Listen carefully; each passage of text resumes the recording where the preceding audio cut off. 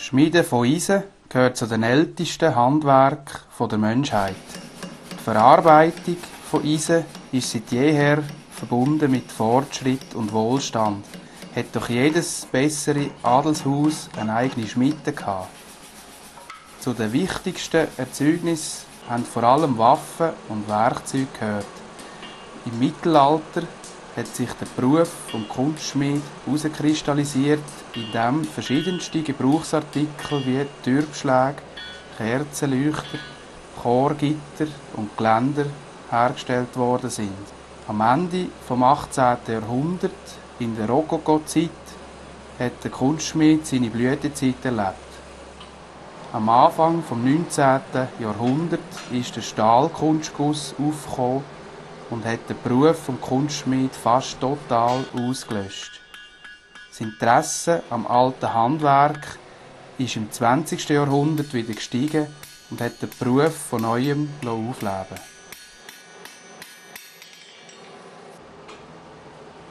Das Feuer in der S, der Amboss und der Schmiedehammer sind die wichtigsten Werkzeuge für das Schmieden von Eisen. Das Feuer gibt den Arbeitstakt an. Darum ist es wichtig, dass man einmal gut schaut. Dass man rationell arbeiten kann, sind immer mehrere Werkstücke am Heizen. Eins davon sollte immer gerade richtig warm sein, dass man möglichst nie vor dem Feuer muss warten muss. Eine bittere Sache ist, wenn die Flamme sternelt. Dann hat man zu fest eingeheizt und das Werkstück ist verbrennt. Eine alte Arbeitstechnik ist das Lochen von Eisen. Mit einem kleinen Bohrer wird die genaue Position der Lochung bestimmt. Dann wird im glühigen Zustand mit dem Spaltmeißel gespalten. Damit der Spaltmeißel seine Härte nicht verliert, muss er regelmäßig im Wasser abgekühlt werden.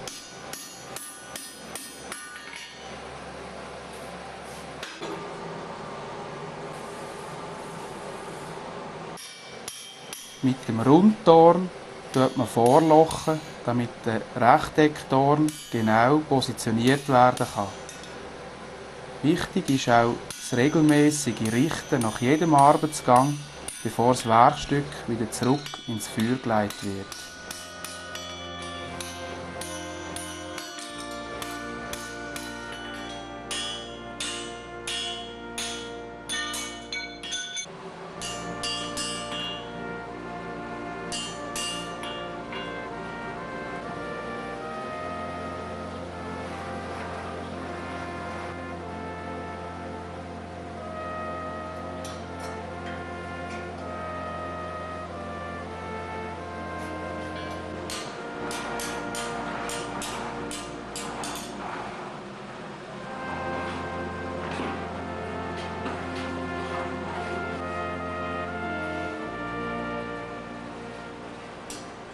Mit dem Ripper wird eine feine Verzierung ins Schild gemeißelt.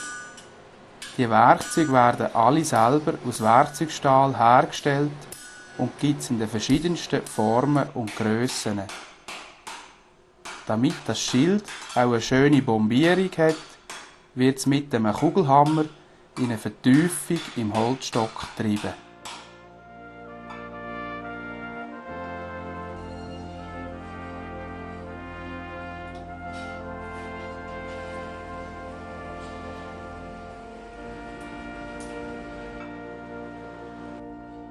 Beim Zusammenbau kommt es aus, ob die Abwicklungen der Schnörkel, die man vom Entwurf übernommen hat, auch stimmen. Es ist wichtig, dass man bei diesem Arbeitsschritt das Objekt als Ganzes betrachtet. So kann es gut sein, dass einige Schnörkel nochmal nachgerichtet werden müssen, damit sie ins Gesamtbild passen.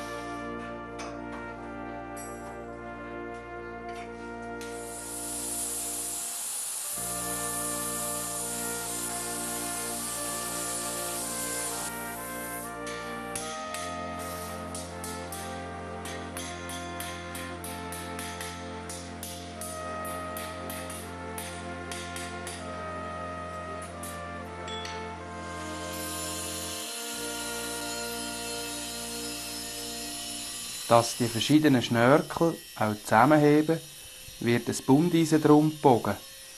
Früher hat es die verschiedensten Profilierungen gegeben. Heute muss der Kunstschmied alle Profile selber im Gesenk schmieden.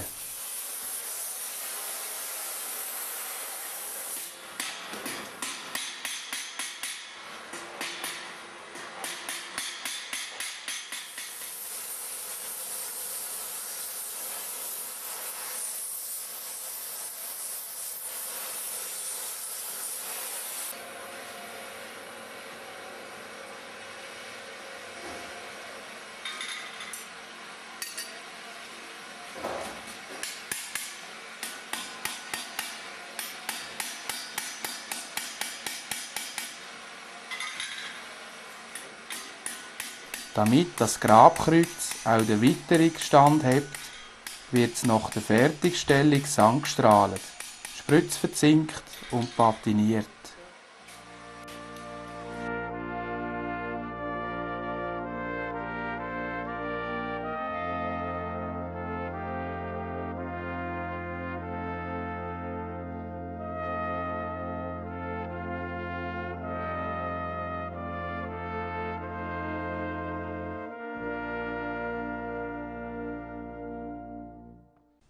Zur Veredelung werden einzelne Verzierungen glatt vergoldet.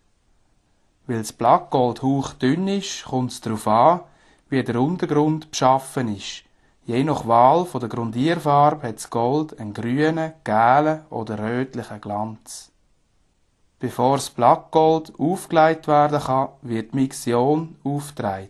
Das ist wie ein Leim auf Leinölbasis. Dabei ist auf eine gleichmäßige Schichtdicke speziell zu achten, sonst kann es passieren, dass Gold in der Mixion versauft und alles matt wird.